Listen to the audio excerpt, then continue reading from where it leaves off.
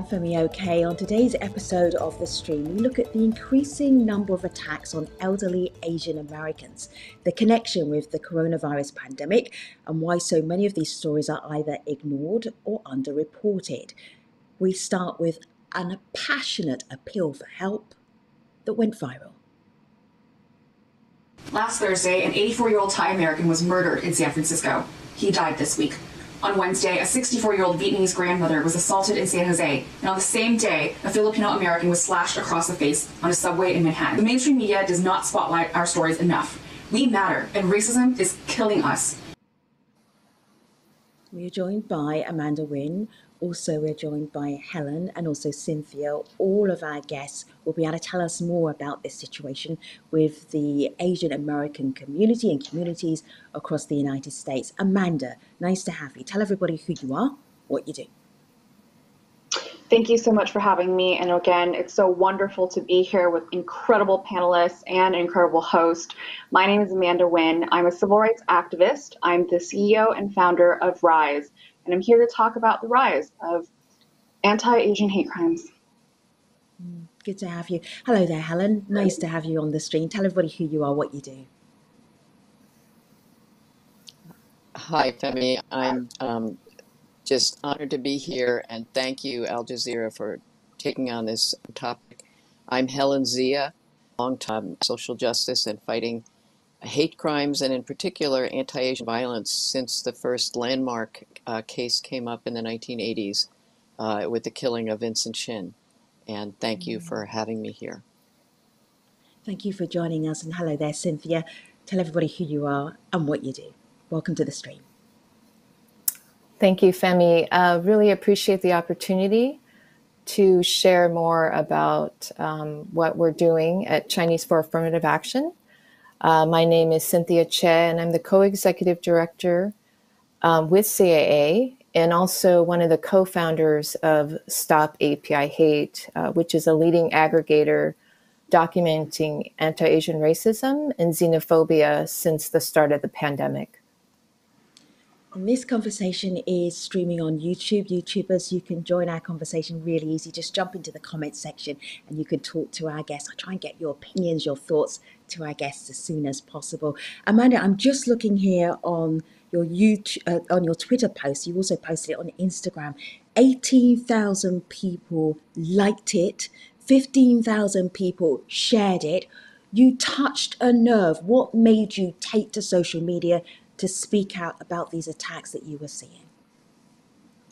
Well, social media is a platform that has allowed a lot of voices, not usually portrayed in mainstream media, to be heard. Uh, and the reality is that Asian American stories were not being covered, not our grief, not our excellence, not our contributions. And so that's why I took to social media. On top of that, I was mad, and I still am, that we and our stories need to fight to be seen. And I'm so, so, so grateful for the response that has come. Cynthia, I'm just thinking that any community that, and this is most of our communities, who has great respect for our elderly will be shocked when they see some of these stories. I have to share with our audience uh, the story of Vicha Ratanapakdee. Uh, elderly gentleman here, have a look at his picture, and I'm just going to scoot up so you can see what happened to him, which is truly shocking. Unprovoked attack, pushed. He's 84 years old.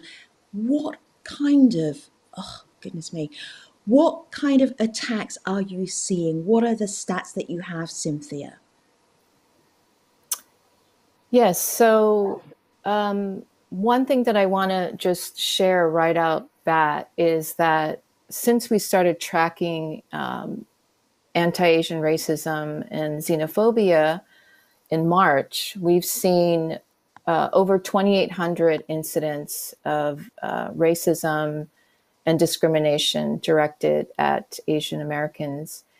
And what we're seeing is that, at least from our data, that a majority of these incidents are what we would consider verbal attacks and harassment while people are living their daily lives under the pandemic. So, as essential workers, as frontline workers, uh, delivery drivers, uh, school nurses, etc., are being subjected, um, are being dehumanized. And we are also seeing um, a category of uh, discrimination in the workplace, um, online bullying, uh, certainly in social media as an accelerator of hate.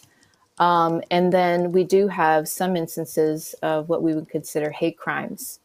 So, uh, being here in the Bay Area, um, where we have had um, visibility on these recent attacks, it has been a very painful time for our community. And it's one of the reasons why we held actions over this past weekend to really voice our concerns, to condemn these attacks, and to demand action. Helen, I have to bring you in here because a lot of people on YouTube having trouble believing what they're seeing. They're not sure that what they're seeing is real. And a lot of these attacks in the Oakland area where you live, when you saw them, I'm going to sh- I'm going to play some more video. This is real video. People who are having trouble on YouTube believing this. As I speak through it, Helen, can you tell me what you think is happening at this particular time? This video that you see here, this is from January of this year. This is shocking. Right. Helen, what is Right. going on here? I find it unbelievable that people don't believe it. I mean, these are actual security video cameras, um, a and woman, because we have social media, being mugged. Yeah, just like being mugged. three or four people right, around her. right. And so these are being caught on um, security cameras, and so we do actually have, you know, proof that these are happening. But for Asian Americans, this is not only just happening now. This was before the pandemic was first reported here in the United States. There have been elderly people and videos of them being pushed, shoved. I mean, these are like tackles, right? People are getting full body slams and and they have died, as Amanda said. People have been mm-hmm. killed, and uh, and I'm afraid that these current videos you're showing are reflective of almost turning this into a sport. I do want to say that for Asian Americans, there's no disbelief. We are living through this, and this um, present attention because of the these uh, rise of the number of videos that are being shown um, is something that's not new to us. And there is a strong feeling that one of the reason attention now is because uh, the videos are capturing uh, Black people attacking Asian Americans. And I know that with Mm. um, with the tracking that has been done by Stop AAPI Hate that Cynthia is talking about, Yeah. that that many of the other videos that we have seen for more than a year now, for m- almost 14 months, um, have been uh, perpetrated by people from many different races and backgrounds. And unfortunately, um, there's a feeling that these are being highlighted because they black people attacking American. The things that I think all of us on this panel recognize is the attacks on Asian Americans is part of white supremacy. It's part of trying to divide um, people of color against each other, and in particular now, um, Asian and black people against each other. But really, the racism and anti-Asian violence that we are experiencing is rooted in white supremacy. And Mhm. so the efforts by people of color, people of conscience, to fight um, systemic racism, systemic racism against black people is really part of what we're experiencing as Asian Americans. So we also ha- are, you know, our efforts are to stand Sure. With the fight against um, systemic oppression. But what we're seeing now is part of the white supremacy to keep us divided, and and and that is part of the problem. Helen, uh, I this has not gone unnoticed, obviously, in it uh, amongst the Asian American communities, not community. Let me show you something here, and it was this video here that prompted two actors to say, "Hey, that person, whoever did that, we need to help. this is Daniel Dae Kim and Daniel Wu. They were offering a $25,000 reward to find the suspect who assaulted that elderly man in California. This is why Daniel Dae Kim felt it was so important. Have a listen to him. For us, this is a daily, almost daily occurrence that we see news like this. And, and so it was this, this reward that we were offering for this single incident was really just the straw that broke the camel's back. And both Daniel and I thought that we have to do something more than just speak about this. We have to do something more than just retweet or you know try and use our platforms to say something. We needed to put quite frankly our money where our mouth is to raise awareness for it in the way that that we're able to talk about it right now. Amanda, I'm just wondering about the impact if you are from a community that is being targeted in this way during a pandemic, what is happening? What are you hearing from your friends, families, friends of friends in terms of how are they trying to protect themselves? Yeah, I, will answer that in a second, but I do want to address one of the mm. comments that was made earlier, which is that some people sure. still don't believe that this is happening. What what else? What else do you need? This is literally caught on mm-hmm. camera. So, what do you think is going on? Like, people are pretending this? Is it like staged? Our grief has to be literally documented. And even when it's on video camera, you still don't believe this is happening. You know, I want to draw attention to this two year old and six year old that were stabbed in Texas. And the man who stabbed them literally on the record said that he stabbed them because they were Asian and he thought that they were spreading COVID.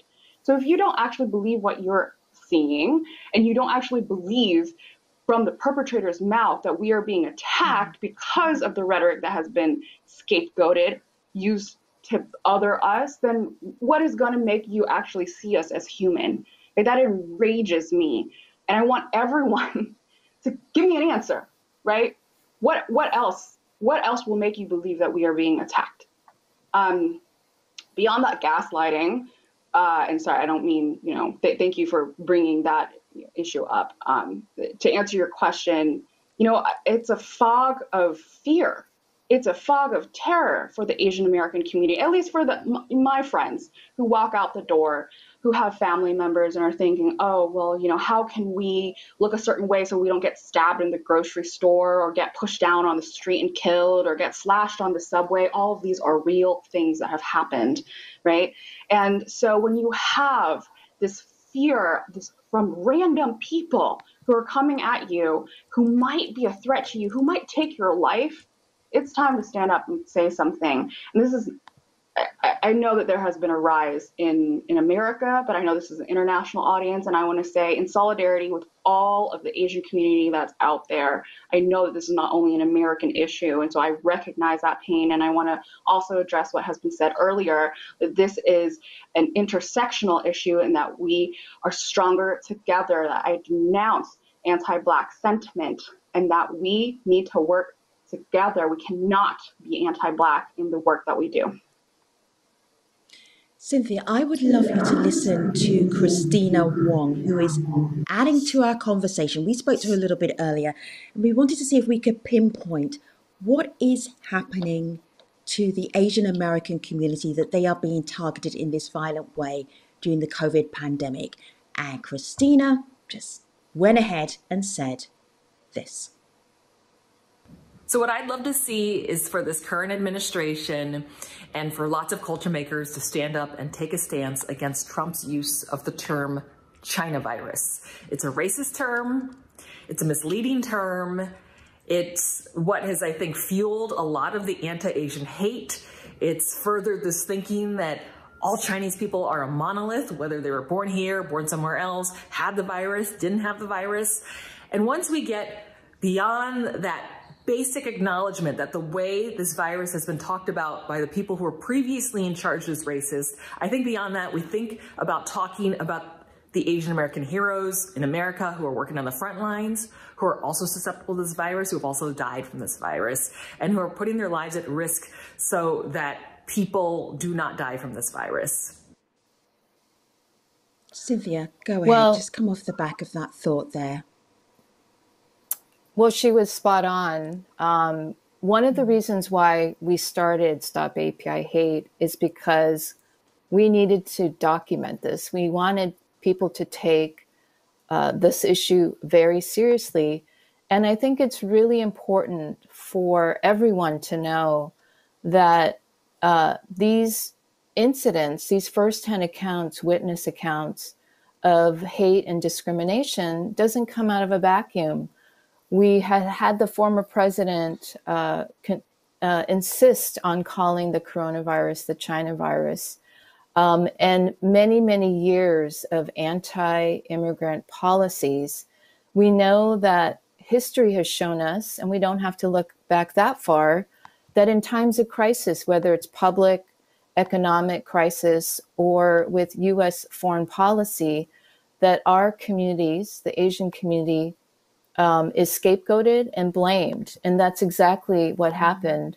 Um, we believe that this needs to be addressed from an interpersonal level, but also from a policy level. We really need to ensure that during this time of racial reckoning, of recognizing the role that structural racism plays, including pitting our communities together, uh, is something that we're going to reject.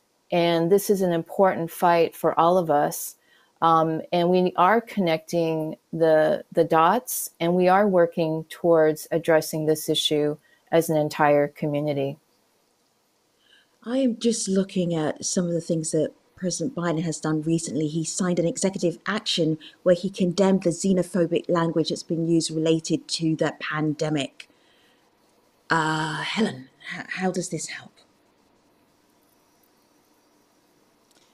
Well, it's a marked contrast between the prior president who used every opportunity to attack China, to attack um, on his, you know, hate mongers, which saw that he so effectively did um, against the Capitol. But that's what he did for, you know, most of his administration, calling people to attack the Chinese enemy. And even when Russia was clearly implicated on incidents um, uh, of national security, he would still say, but it could be China. And just as Cynthia and mm-hmm. Amanda have been saying, it's this um, geopolitical situation that he's been goading, blaming, and blaming um, people who look like the enemy, which is, you know, the largest population of, uh, of people in the world, and um, as Amanda said, it's not just an American phenomenon. These attacks have been going on every continent except for Antarctica. And so the um, attacks on communities that are Chinatowns, little Saigons, little Tokyos, um, that pain has been experienced ever since this pandemic uh, began. And I'd like to go back to your question about impact on our communities beyond the, the, the actual assaulted, whether verbally or physically, um, people from the very beginning started going underground. And what I mean by that is these very seniors who dare to go out and take a walk um, have been hiding out. They're afraid to go to their doctors, they're afraid to go get food. And so, what we're also seeing in terms of the pandemic is that there is so little information about people, Asian American, Asian people, and how they are affected by the coronavirus. So, uh, repeatedly, we see reports coming out saying, how, you know, Latinx um, have mortality uh, rates or morbidity rates from the from the virus, but nothing about Asians, because many are not even getting tested. When they're sick, they're not going to the uh, to the doctor they're not getting medications. And so the actual harm is is extensive and not being counted. Basically, we're being blamed, we're being attacked, and we are being ignored. And while we welcome the Biden administration coming out and making a statement, it's got way more than that.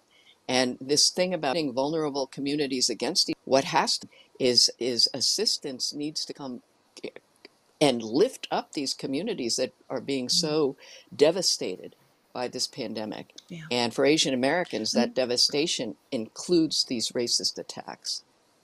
Sure. Uh, w- one of one of the aspects that often happens where, where communities are attacked and it's because of race racism uh, often the onus is on well what are you going to do about it but it actually isn't your problem it's not your racism it's racism coming to you so what are they going to do about the issue? Not what are you going to do about the issue but i want to bring in here christina on who's talking about movement building. Have a listen to what she has to say. Our research has shown how fears of xenophobia, the racialization of AAPIs, and the rise of hate crimes are compounding to create more fear than the virus itself. For many of our respondents, it's become clear that being Asian or identified as Asian is enough to be harassed and blamed for COVID 19. Racialization, especially in the US, demonstrates that if someone perceives or racializes you in a certain way, it doesn't matter how that individual might self identify. At the same time, AAPI communities are finding and building resistance to hate crimes through volunteering, advocacy, and consciousness raising. We find that social movements like Black Lives Matter open up dialogue for exploring the meaning of Asian American identity and experiences of racism in the context of the pandemic and beyond.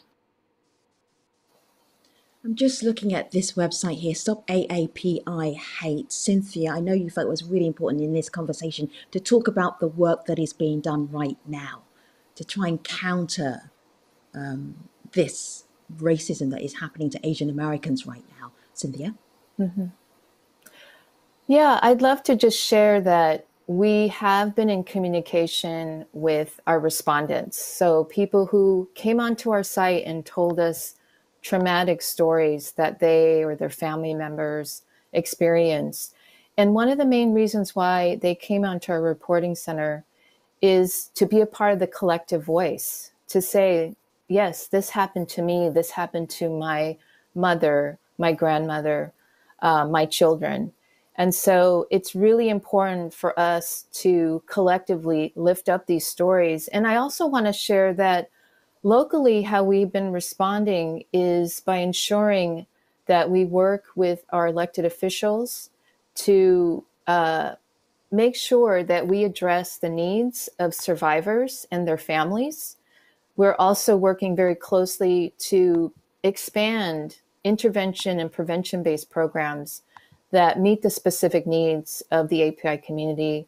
And then finally, we do believe that uh, as many of us had been working on uh, for many years, decades, to build cross racial, cross solidarity, and community building work, the communities that are directly impacted, low income communities, uh, people who are living in public housing, uh, our elderly who have been isolated for a very long time, uh, not just under the pandemic, but in terms of overall issues when you look at uh, disparities, economic, housing, those who are facing food insecurity these have been issues that we have been addressing for a very long time. And the pandemic has really just exacerbated and really exposed how vulnerable our communities are. Mm. And I do want to emphasize that the crime and violence are, are not new to our community. This time of racial reckoning has been an opportunity for Asian Americans to say that we have solutions we need to be resourced, and community based organizations who are on the ground really have the best understanding of what our community needs. And we're looking forward to working with our elected officials. Um, and we're also part of a national movement of API leading organizations who are fighting for racial equity and economic justice. Cynthia, thank you so much for being on the stream today, and Helen and Amanda. 25 minutes is not long enough. We only just got started, but I want people to be able to follow your work. So have a look here on my laptop. Stop AAPI Hate. They also have a website. Helen Zia, Helen Zia Real, author, journalist, activist. I highly recommend you visit her on Twitter. And then, of course, Amanda. Amanda's not just on Twitter, she's also on Instagram. Do follow her. You will be really taken along with what she feels is important, what we need to know, not just in America, but around the world.